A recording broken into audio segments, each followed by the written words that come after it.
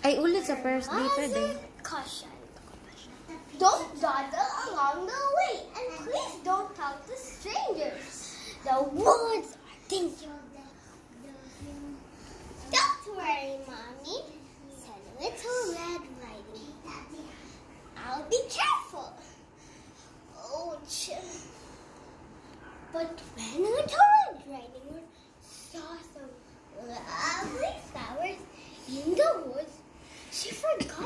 forgot her promise to her mother. She picked a few, watched the butterflies, went about for a while, Happy mood. the frogs and picked a few more. Very good. Little Little Red Riding Hood. Red Riding Hood was enjoying the warm summer day.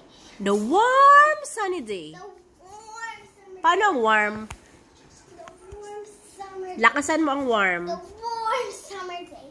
So much. So much. so much that she didn't notice a dark shadow approaching in the forest behind her. Suddenly, Suddenly, suddenly, mag-bend ka, ah, ganito ah. Ganito ah.